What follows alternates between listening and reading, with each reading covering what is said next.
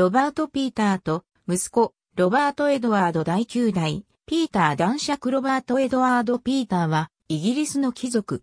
1742年に、第8代、ピーター男爵ロバート・ピーターとその妻、メアリーの長男として生まれる。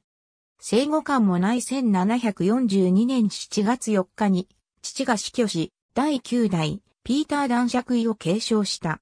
熱心なカトリックであり、カトリック解放運動に尽力した。1772年から1777年にかけてフリーメイソンのイングランド、首位グランドロッジのグランドマスターを務めた。1801年7月2日に死去。二度結婚しているが、いずれもハワード家の娘を妻にした。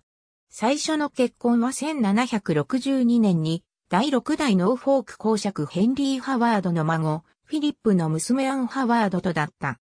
次の結婚は1788年に12代ノーフォーク公爵バーナード・ハワードの弟ヘンリーの娘ジュリアナとだった。